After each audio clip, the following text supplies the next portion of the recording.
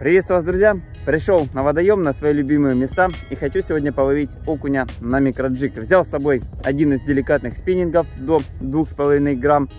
Буду проверять сегодня, искать осеннего активного окуня. Легкие веса, небольшие приманочки, все как вы любите. И посмотрим, как себя он сегодня поведет.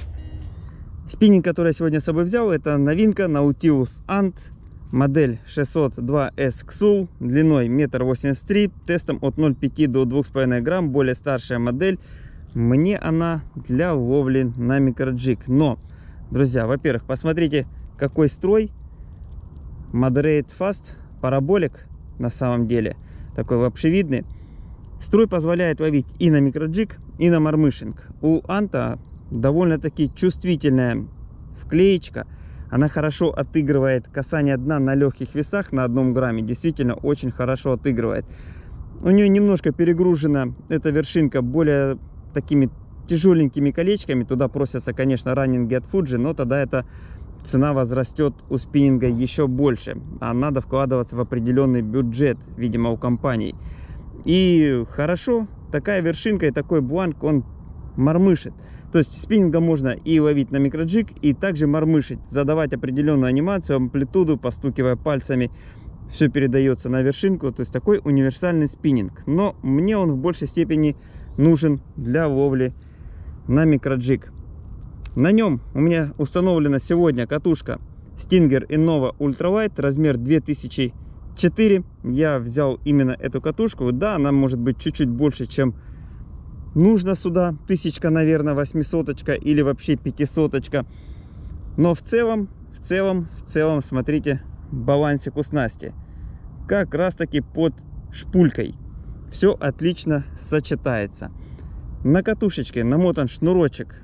Это у нас Duel Hardcore The One диаметром 0,3 PE.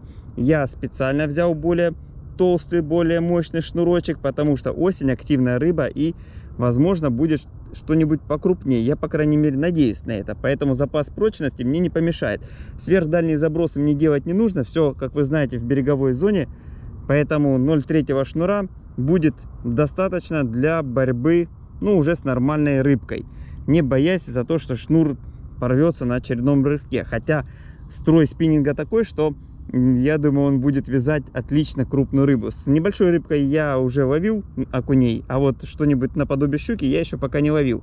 И мне кажется, что строй такой, что он будет отлично ее вязать, утомлять. Да, нельзя форсировать и не получится форсировать, опять-таки, за счет такого строя более мягкого. Но работать с рыбой будет можно. Так как я все-таки думая, что будет и щука, я использую поводок из флюорокарбона, дабы не пугать и не стеснять окуня стальным поводком. Но поводочек у меня длиной 30-35 сантиметров и диаметром 0,3 миллиметра. Довольно-таки толстый флюорокарбон, который ну, повышает надежность а, оснастки и борьбы с небольшой щукой, которая не всегда его перегрызает.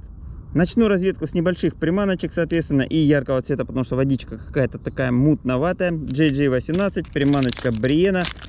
И в таком моем любимом цвете, ярком.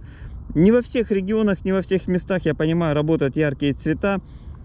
Но у меня работают. Я и верю в этот цвет, ловлю им чаще. И не просто так ловлю, а потому что действительно он у меня ловит. Поэтому вы видите яркие приманки, вот особенно такой расцветки очень часто у меня на оснастке, очень часто у рыбы в пасти, и я вам ее демонстрирую. Я понимаю, что в разных регионах разные приманки по расцветке работают, и предпочтения у рыбы разные. Да даже на одном, в одном городе на разных водоемах это может меняться. Но у меня, вы видите, этот цвет как универсальный, работает всегда и везде. Начну с веса чебурашки полтора грамма. Как видите, погода спокойная, штиль, ветра нету. Применять 2 грамма не нужно, но и 1 грамм тоже не хотелось бы применять, потому что буду обрабатывать не только основную зону, это береговая зона, но и забрасывать забровочку, где глубина соответственно. И полтора грамма на тоненьком шнуре будут оптимальны по весу. Вольфрамовые чебурашки от золотой рыбки. Все, приманочка готова, снаска собрана, микроджиг. Ну, проверим. Рыбка активна, кого-то так хорошо гоняет, плещется, видно. Я думаю, так ушок также Пока еще не вижу малька, хотя он плещется, есть. Ну, мне просто не видно пока что. Я стою и в тени, не водичка, вы знаете, какая-то мутноватая. Это как раз таки оправдывает применение более яркой такой приманочки. Мутная вода. Чтобы хищнику было более заметна ваша приманка.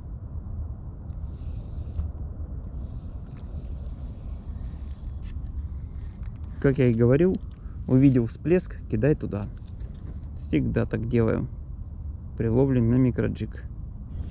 И это дает свои результаты. Ох ты ж. Друзья, ну это рыбка не окунь. Как его вытаскивать? Еще и завел туда, где тростник. Ну, сейчас буду спускаться, наверное, к нему. Вот он, друзья, непрофильная рыба. Это карасик. По-честному. По-честному. Вот он, крючочек. Хотел скушать такую приманочку. Но открылся все равно хорошо. И вы знаете, карась он сопротивляется очень яростно. Друзья, ставим лайк. Неплохой первый улов. Карасик, он как боец очень хорошо сопротивляется. Намного резче, чем окунь. Похоже, конечно, но такие у него рывки порезче. И приятно на микроджиг, на деликатную снасть поймать такую рыбку. Азартно.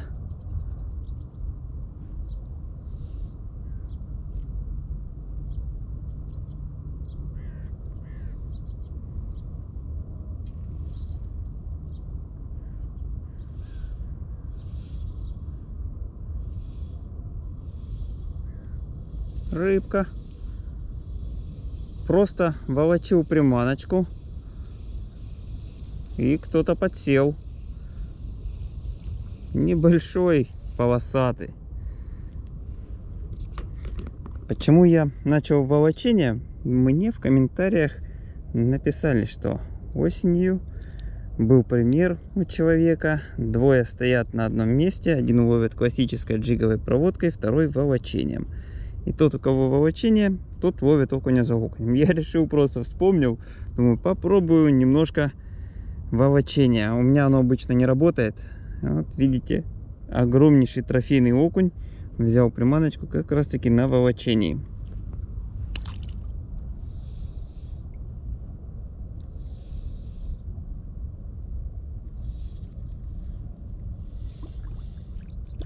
Ох ты ж.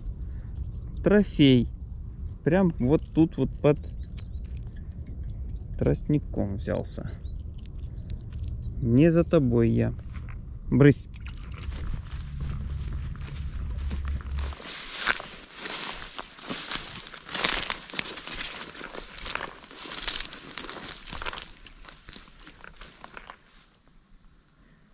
Решил прогуляться по местам пройтись, посмотреть. Водичка мутная, несет траву, дискомфортно ловить. Хочу поискать более чистую воду.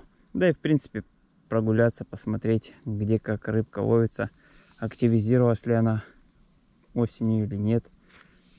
Надо проверять, надо гулять.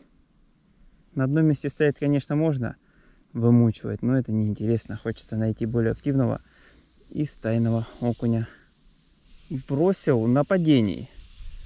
А эта рыбка взяла на падении. Интересно как. Я вижу, что он котлит. На самом деле он посередине гоняет малька. Ну, не ожидал, конечно.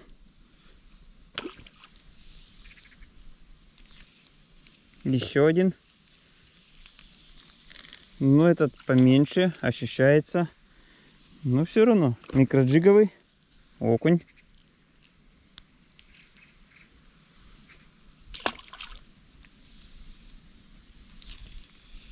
Еще под берегом. Да что ж такое? Что ты сходишь? Вон он, малыш, ушел. Откусили хвостик. Надо поменять приманочку. А попробуем вот такую интересную приманочку. Она чем интересна? Два хвостика. Такой твистерочек небольшой с двумя хвостиками. Тоже GG18, а название я не помню. Так вот. И цвет машины масла.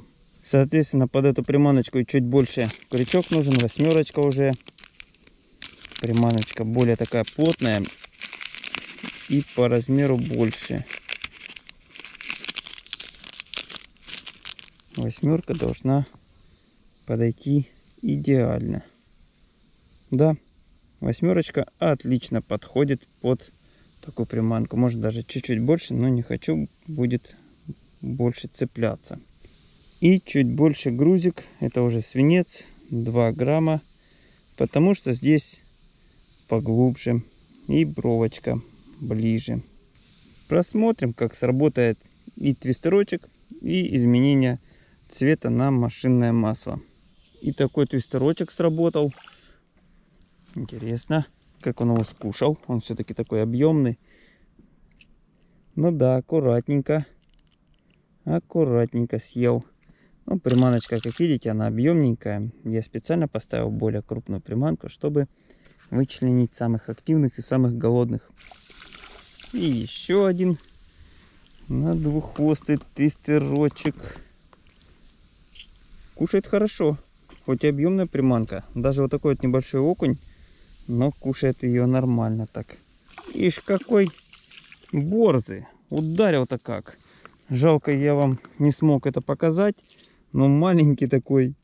Аккуратненько засекся за краешек. А вдарил такой по-взрослому прям. Они хоть и маленькие, но они такие дерзкие какие-то. Клюют так с ударом хорошо, так мощно не надо уговаривать, просто он тут перемещается, он тут гуляет, если вблизи него приманочка проходит, то он ее обязательно кушает. Да, конечно, не каждому дано заглотить всю приманку целиком, и хвостики такие аппетитные, он щиплет за хвостик тоже часто. Но когда он клюет, он клюет прям так хорошо. Стянул засранец. Даже такую объемную приманку он прям бьет с ударом. И на спиннинг все отлично ощущается. Я не знаю, кому там кажется спиннинги глухие. Да, он мягкий, да, он параболик.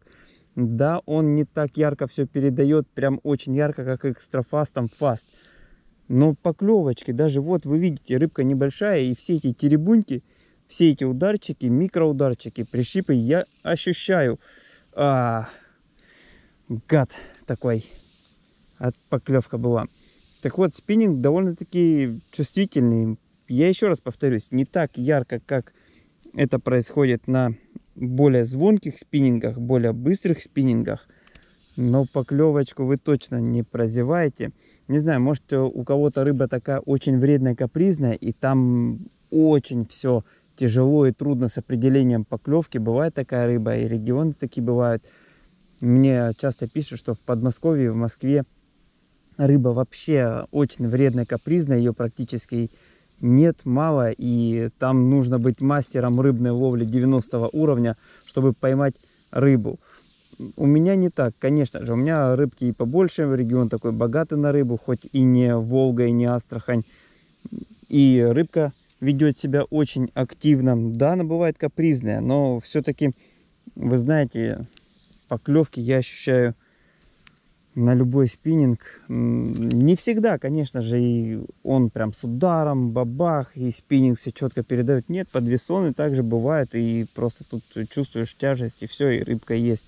Но когда на паузе, когда приманочка лежит на дне, и окунь с ударом бьет, вот это все чувствуется. Сейчас, кстати, я не чувствовал поклевку, потому что он как-то на паузе взял, аккуратно всосал. Вот о чем я говорю. Но если он, он бьет с ударчиком, то я это все прекрасно чувствую. Кушочек хороший, такой красноперый, красавец, да? Отдай приманку и пойдешь обратно. Ага, еще один из отважно голодных. Почему говорю голодных? Потому что объемную приманку скушал целиком. Отдай. Ой-ой-ой-ой-ой. Ой-ой-ой-ой-ой. Была поклевка, потом сошел окунь, потом под берегом еще один взялся. Во-во, вот это вот уже хороший, да? Смотрите, вот это уже отличный окушочек. Вот смотрите, Я не знаю, он это был или нет, но моя приманочка, вот он, крючочек, где дырочка. Вот у него дырка уже есть. Либо это он сейчас же догонял и догнал, либо его уже кто-то ловил, возможно, я, и отпустил. Вот так вот интересно бывает.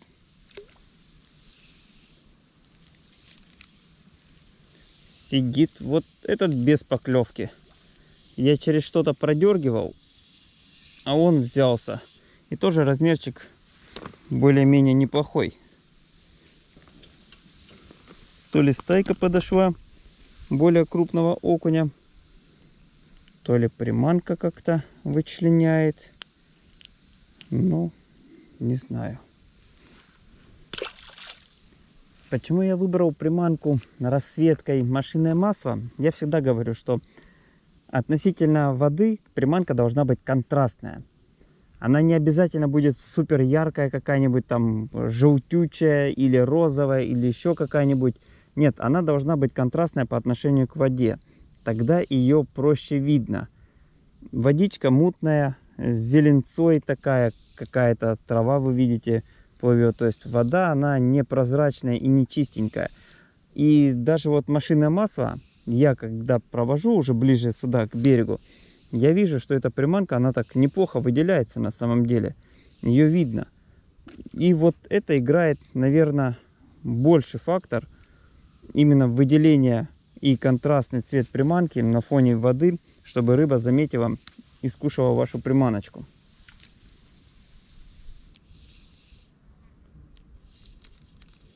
Вот он. Ох, кто это? Окунь. Прям под берегом.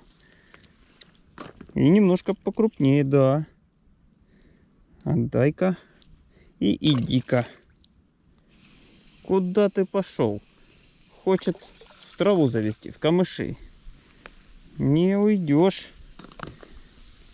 Кстати, вот очень хорошо работает спиннинг. Я всегда говорю, что мягкие спиннинги очень хорошо работают на рыбе. Ну, то, что губа рвется, это понятно, но тут сейчас не было сильного дырки такой огромнейшей. Не сходит рыбка. Очень даже хорошо прилипает спиннинг к рыбе, мягкий спиннинг. С быстрым, конечно, там чуть-чуть по-другому. Возможно, не так критично, прям очень критично, чтобы разница была в разы. Но все-таки мягкие палочки лучше прилипают к рыбе. Что касаемо приманочки, смотрите, я уже сколько на нее окуней поймал, сколько было поклевок за хвостик, прищипов хвостики целые. Но само тельце, оно уже очень сильно такое разбитое. Я постоянно перенасаживаю по-разному. Продлеваю жизнь приманки, она работает. Поэтому я чуть-чуть по-другому перенасадил. Но самое главное, обычно хвостики отрывают, а тут нет, хвостики очень живые. А вот тельце немножко уже подизносилось. Ох, смотрите, как гнется. Небольшая рыбка, но как-то очень себя мощно повела. А кушочек, ну такой нормальный микроджиговый окунь на самом деле. Очень себя как-то так резко и бодренько повел он. И спиннинг начал загибаться сильно. Я думал, что карась. Но это окушочек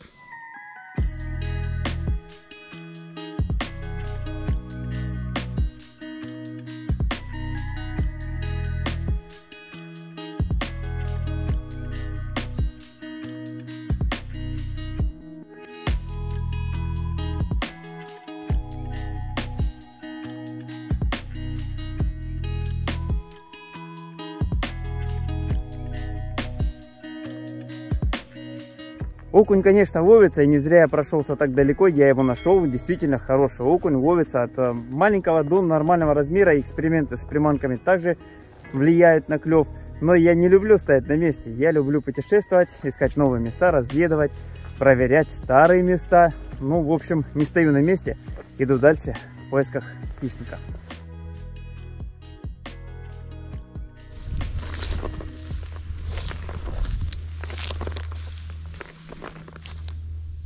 Обновлю приманочку, будет крепче и дольше ловить. Свеженькая. Тот же самый твистерок. Ну-ка, ну-ка, ну-ка. Здесь должен быть окунь. Везде несет траву, везде водичка мутная. Конечно, условия такие суровые для микроджига. Ну, трава, она мешает. Она действительно очень сильно мешает ловить. Ага. Окушок. Вот и тут он есть. И сразу такой более крупненький.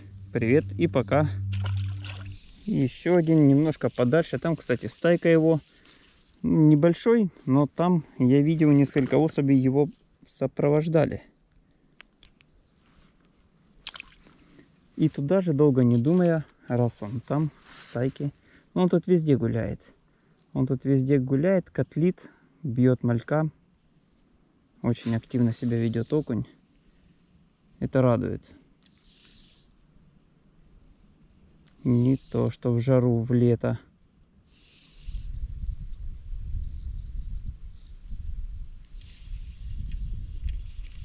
Взялся. О, этот уже размерчик поинтересней. Да, этот уже размерчик поинтересней. Таких приятно ловить, очень приятно. Вот он, красавец с ирокезом.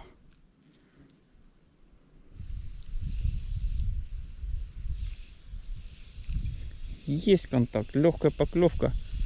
Есть небольшой окушок. Ну, понятное дело, легкая поклевка, маленький окунь.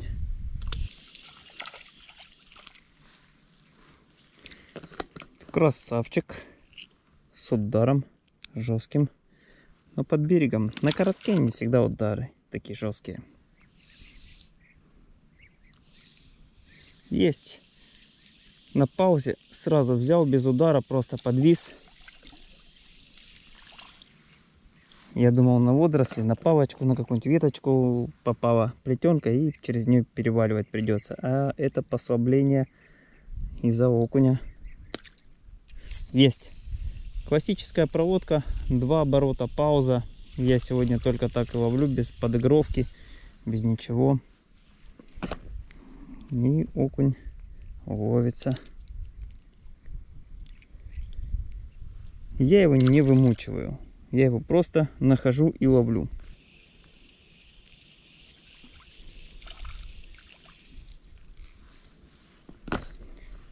Вечно голодающие.